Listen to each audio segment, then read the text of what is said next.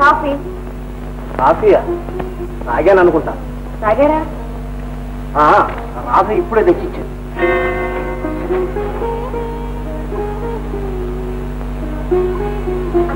పిల్లి నాకు జడేసింది నాకు బట్ట కడిగింది నాకు టిఫిన్ పెట్టింది. ఏం కమల? ఏమిటి నీ ఉద్దేశం? నేను ఇంట్లో ఉండాలి అక్కర్లేదా నన్ను ఎందుకు ఇలా బాధ పెట్టా నేను నీకేం అపకారం చేశాను కమల? ఏమిటి నువ్వు అంటున్నది? లేకపోతే ఏమిటి?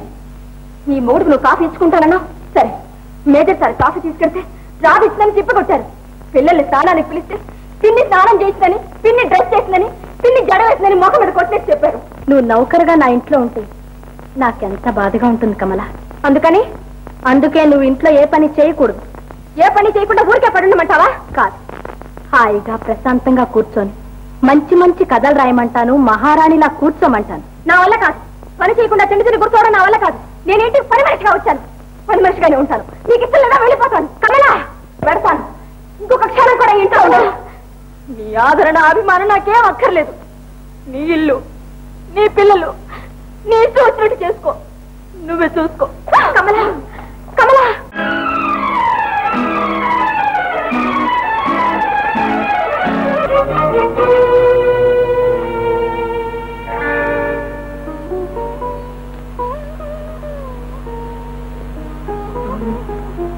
ఈ ఫోటో ఎందుకు తీసేయాలి?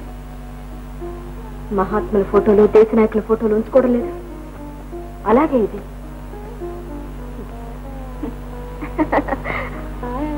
కమల ప్రతిసారి నీకు నువ్వే ఏదో సమాధానం చెప్పుకుంటున్నావు నిన్ను నువ్వే వంచుకుంటున్నావు దేశ నాయకుల ఫోటోలు ఎవరైనా పెట్టెల్లో దాచుకుంటారా?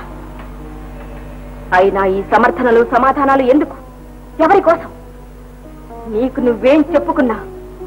నిజమేమిటో తెలుసా? కమల నువ్వింకా ఆయన్ని మర్చిపోలేకపోతున్నావే. మర్చిపోలేవు.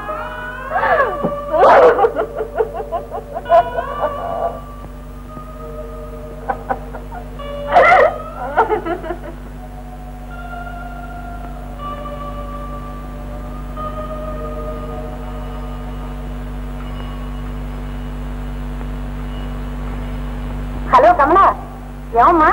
ఏమైంది నీ సీరియల్ కథ? అదేనండి. ఇప్పుడే కథ ఒక రకంగా కుదిరింది. Very good. మరి రాయడం ఎప్పుడు మొదలు పెడతా ఇవాళే మొదలు పెడతానండి. వచ్చే వారం పత్రిక తప్పకుండా ఇస్తాను.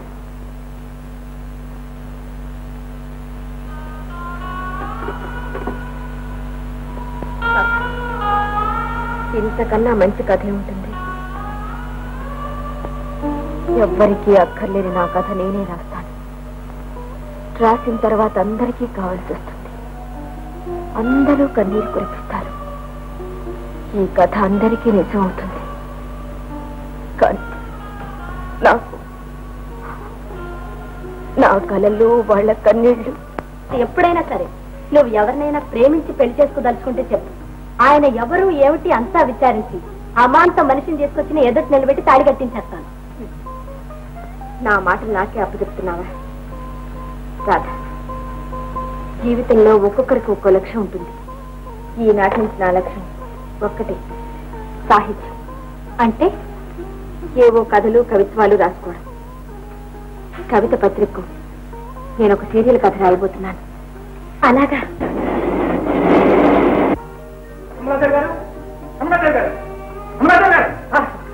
నమస్కారం అండి. మీ అండమాల కట్టలేదు ఓహోహో.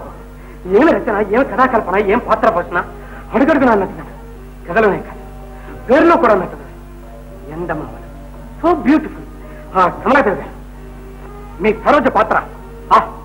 చాలా గొప్ప పాత్ర అండి గుండెల్లో ఆవేదన గొంతులో గూడు కట్టినప్పుడు గడగడగా మంచినీళ్ళు తాగేస్తుంది కిరకిలా నవ్వేస్తుంది ఏమండి అంత బాధలో అలా నవ్వగలగడం మనకు సాధ్యమంటారా సాధ్యమే అలా నవ్వగలిగిన ఒక అమ్మాయిని ఎరుగుదాం అబ్బా ఎంత అదృష్టవంతులండి నవ్వు గురించి మరో చోట రాశారు అద్భుతం ప్రపంచంలో విలువ కట్టలేంది ఎరువు తెచ్చుకోవడానికి తిరిగి ఇవ్వడానికి వీల్లేంది నవ్వు ఒక్కటే అన్నారు. చంపేశారు. సరే ఈ భావాలను ఎలా పుట్టుకొస్తాయండి మీకు? ఎలా రాస్తారండి? అసలు విషయం మర్చిపోయాను కమలాదేవి గారు. మీరు ఇంతవరకు రాసిన కథ ఒక సినిమా ప్రొడ్యూసర్ చదివి తబ్బిపోయిపోయాట ఆ సినిమా తీయడానికి ఇస్తారో ఏమో అని నన్ను అడగమని లెటర్ రాశాడు? పూర్తి కానివ్వండి. ఆలోచిద్దాం థ్యాంక్స్ కమలాదేవి గారు కవిత ఆఫీసులో కొన్ని వందల ఉత్తరాలు. అన్ని మీవే అందరూ మీ ఫ్యాన్సే. కానీ వాళ్ళు దురదృష్టవంతులు. నేను ఒక్కడిని అదృష్టవంతుని కారణం? వాళ్ళు ఆనందం ఉత్తరాల్లో తెలియజేసుకోవాలి. మరి నేను? కళ్ళారా చూస్తున్నాను మాట్లాడుతున్నాను మెచ్చుకుంటున్నాను. అదృష్టవంతుడు అవునా కానా? కాదు. నిజానికి నేను అదృష్టవంతురాలి. మీలాంటి మంచివారు మనసున్నవారు ఒక ఆడదాని ఆవేదన అర్థం చేసుకుని సానుభూతి చూపే సంస్కారం ఉన్నవారు నా కథను మెచ్చుకోవడం నా అదృష్టం. కమలాదేవి గారు మీరు నన్ను పొగట్టం లేదు. అయితే మీరు అదృష్టవంతురాల్ని కాదంటారా? చెప్పండి. మీ అభిమానం ఎప్పటికీ ఇలాగే ఉండాలని మన పరిచయం పవిత్ర స్నేహంగా వర్ధిల్లాలని మనసారా కోరుకుంటున్నాను. గారు మీరు కాదు. నేనే. నేనే అదృష్టవంతుడి నేనే.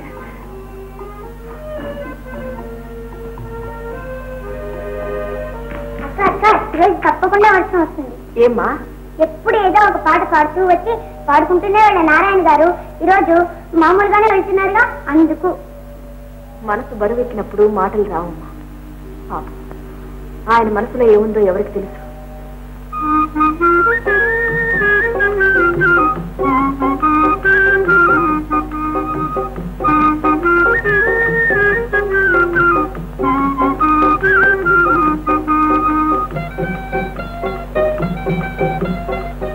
నా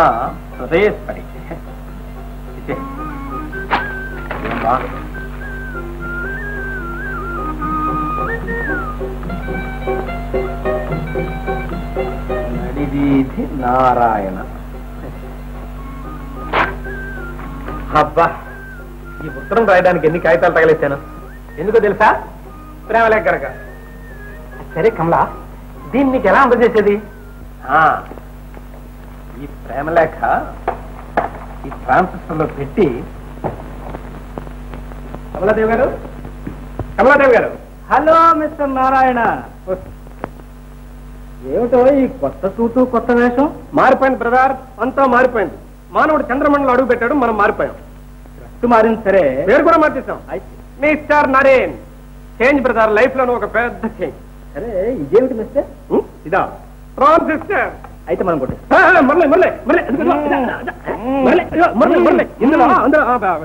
దీని లైసెన్స్ ఇంకో పేరులో ఉంది. దీని ఖరీదు ఎంత తెలుసా. అబద్ధం. ఏ పదో పదిహేనో బారేసి ఇన్స్టాల్మెంట్ మీద కొని ఉంటాం ఇన్స్టాల్మెంట్? ఇన్సల్ట్ అది మేడ్ ఇన్ అంబాజీపేట. ఇది made in America. Foreign make. ఏం మీకు? Foreign make. పెద్ద మేకే. నువ్వే ఉంచు. అసలు దీన్ని నీకెవడిస్తాడో ఇది నీలాంటి మగ పురుషుల మొరట చేతులకు కాదు. తరుణారుణ తరుణీ కరపల్ల వాళ్ళకు తెలుసా? ఏడ్చావు? నీ కవిత్వం నువ్వును. మిస్టర్ నీకేం తెలుసు? ఆది కవి వాల్మీకి కవిత్వం ఏడుపులోంచి వచ్చింది ఇప్పుడు పెద్ద పెద్ద కవులందరూ ఏడ్చే కవిత్వం రాస్తున్నారు నోరు మూయరా.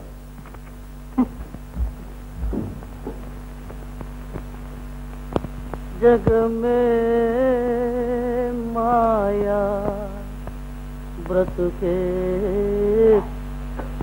నమస్తే నమస్తే రండి ఏమిటి అంతా ఏదో మారిపోయారు ఎలా ఉంది మీకు ఎలా ఉంది చాలా బాగుంది. మీరు బాగుందన్నారంటే చాలు. పగలైనా రాత్రైనా పడుకున్నా మేలుకున్నా మాసిపోయినా చిరిగిపోయినా ఈ డ్రెస్ మాత్రం మార్చున్నా చూడండి డ్రెస్ మారినా పర్వాలేదు. ఇలాగే మంచివారుగా ఉండాలని నా కోరిక. ఉంటానండి. తప్పకుండా ఉంటాను. అందుకు హామీగా ఇదిగో దీన్ని ఆన్ చేస్తే పాడుతుందా చేస్తే మాట్లాడుతుందా? అలాగే. కాదు కాదు. ఆనందమైన ఆవేదనైనా నవ్వుకుంటుందే మీ కథానాయక సరోజ. అలాగే. ఇది నాకెందుకండి అమ్మమ్మమ్మ అలా అనకండి. మీ దగ్గరే ఉండాలి.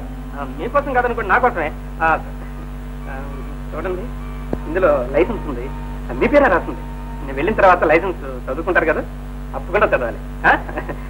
ఇప్పుడు మొత్తం పాట వినండి వినండి. జీవితం అంతా చేతిలో తాళాల గుత్తితో పిడికెట్లో ప్రాణాలతో బ్రతికే నీకు పెళ్ళా?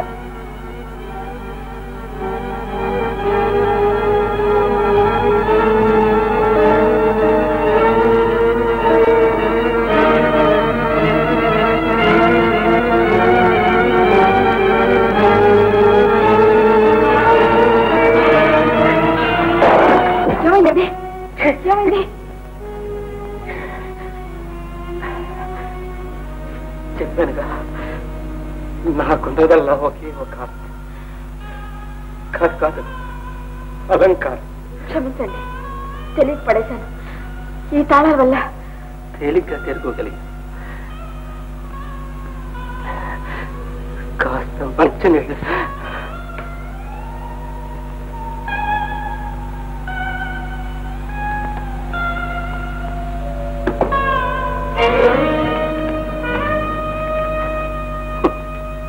నారాయణ. నీకు లేదురా లైసెన్స్. ఆ చెంబే లేకపోతే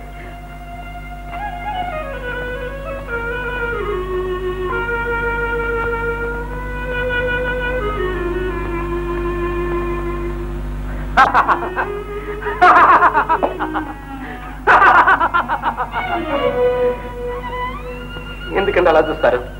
గడగడ మంచినీళ్ళు తాగేశాను. కిలకిలా నవ్వేశాను మీరు నేర్పిందేగా? వస్తాను.